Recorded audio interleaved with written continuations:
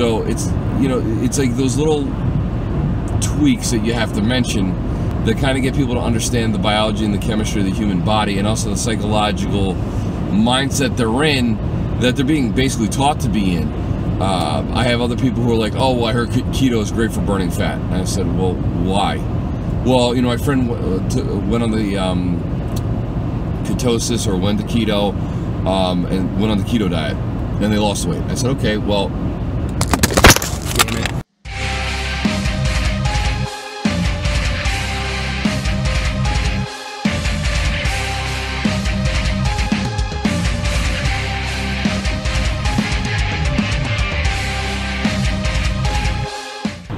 before I was so rudely interrupted. Sorry guys, I was trying to shoot this before and the camera mount just fell off. So I'm gonna try to reshoot this whole video.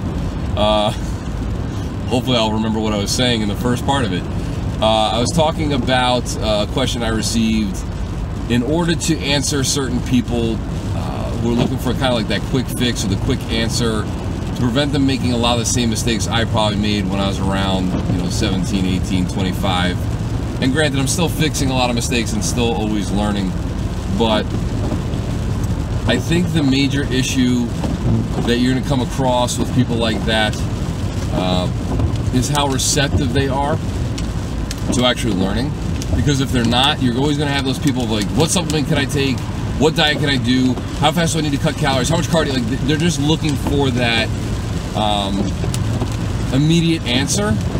And no matter what you say, they're just going to do the exact opposite. In six months, year, year and a half, two years later, they're still going to complain about the results they didn't get uh, from the advice that they took, but never bothered to listen to. So, when I get questions like this, or I have to field questions like this, which I do a lot of, about you know carbohydrates, keto, veganism, intermittent fasting, BCA, supplementation, all that kind of stuff.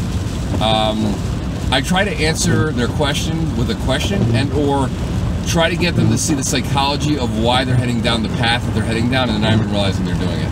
I'll give you an example. I get a lot of questions lately about carbohydrates or why do I have carbohydrates so high for someone? Uh, because people say, well, I'm carb sensitive. And I said, well, I say, well, really, carb sensitive? You have a gluten sensitivity? Have you ever been diagnosed with that? And they're like, no. I'm like, okay, so is it that you're carb sensitive, or for some reason are you afraid of carbohydrates because you're afraid it's gonna make you fat? And immediately I'll see the wheels like click or like go on. They go, well, carbohydrates make you fat. And I said, well, what gives you the impression that carbohydrates make you fat? Um, and then they'll start telling me about some magazine they read, um, or their friend who went on some sort of stupid cleanse. Sorry, it is stupid. Um, you have a liver and you have kidneys. You don't need to go on a cleanse. This toxin stuff with these packages is ridiculous. But side note. So I'll kind of get them to go down the path of admitting that they're afraid to eat carbohydrates or they're afraid to eat fat based on some sort of myth or incorrect information they've heard from somewhere. Whether it's television, a magazine, their friend, whatever the case may be. And when I do that, it tends to make people a little bit more aware, and then I can kind of very quickly like plug in some information. So I'll start to ask people like what they're doing and why they're doing it, and ask them how the results are working. And usually they'll tell me what they're doing, and they'll say they're getting no results and they're getting frustrated. And I say, okay, great. Well, this is the reason why I do this, or this is the reason why I do that, and this is why I see better dietary adherence. I see more fat loss um, and, and, and of such nature. So I'll explain to them why being in a severe caloric deficit for an extended period of time really isn't going to do anything for them.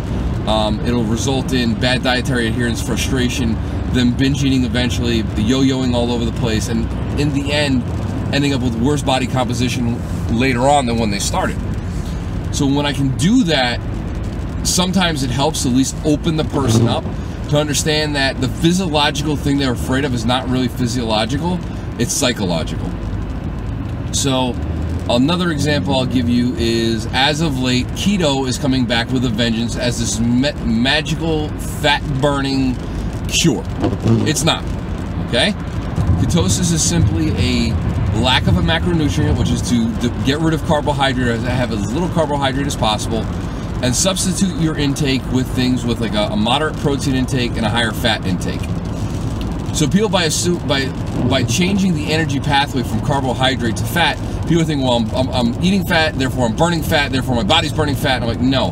What you did was you created a caloric deficit with a change of macronutrient, and therefore you're dropping body fat. Now, do I have anything against people on a keto diet? No. There are some medically uh, medical conditions of which they do see benefit for people going on the on the um, keto diet. So epilepsy, people suffer from seizures, um, slowing down certain types of cancers. Where then, if you also get this, the the primary treatment of things like chemotherapy, it can aid in killing off cancer.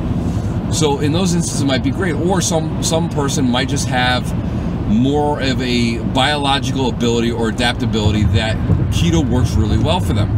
But it's not a one-all fits all magical solution for fat loss. You can lose fat and still eat carbohydrate. The biggest issue I see is that people go from one extreme to the next. They just there's too many black and white absolutes, and there's a lot more gray area in between. And there's a lot of way to, ways to skin a cat to get that answer. Um, people ask me about training protocol about, well, you know, should I train this way or that way? I'm like, well, mainly it's about following a well-structured plan and executing it over a period of time and seeing what your body responds to. So I know I respond very well to a mixture of hitting my body parts more than once a week, anywhere from two to three times a week, depending on the body part. And I blend in anything from five reps upwards of 20 to 30 reps, depending on what I'm doing and depending on how my body feels. I'll blend in different training types or rep ranges because that way I can tap into the type 1 and type 2 muscle fibers um, and make sure they're both getting used in order to maximize hypertrophy. Now, am I an expert in this? No. In fact, I constantly read up on this on different ways to continue to maximize hypertrophy. Um, I'm reading something from Brad Schoenfeld right now. I read articles all the time. And I do a lot of trial and error to figure out what works well specifically for me. And then I try a lot of trial and error on my clients that I train to see what is triggering the result in them. Um, what helps them stick to the training protocol, what keeps them motivated, and also maximizes the muscle growth and or fat loss. Um, so it's constantly trying to just get people to open their eyes, listen a little bit, just give them enough information to like wet their palate so that they're receptive to it without getting too scientific or too over the top where that you feel like they're they feel like you're talking down to them and preaching to them because that can get them excited to learn and then you have somebody that you can convert over time. Um, on the other extreme there's some people that just like to bitch um, they're always going to complain. They're never going to listen and there's nothing you can do to help them. And eventually you'll just have to come to the point and say listen i've given you a lot of advice. You're not listening. So what would you like me to do? You're, you're not receptive, you're not executing this properly, so don't waste my time. And get those people away from you because they're just going to be a leech constantly nagging and annoying and driving you crazy. And in the end, they're still going to do what they want to do and then complain how they didn't get results. And they'll be like, oh, well, it's genetics. Oh, well, it's my thyroid. Oh, well, uh, it's some other, you know, I'm just tired. Oh, well, it's my life. Oh, well, I have to work. Don't waste your time on those people. But do your best in a very simplistic manner, in a sly way, to get people to admit to you what the psychological issue is. Because if you can, you make them aware of it, and then you can kind of start to educate and change their perception as to everything they've been doing. That's the best advice I can give. All right, guys, I hope you enjoyed it. If you got something from this, great. If you didn't, oh well. Don't forget to like, give me a thumbs up as much as possible, and subscribe. I am trying to build the channel. I am trying to relay great information as much as I can. Hope you're enjoying everything. Talk to you guys soon.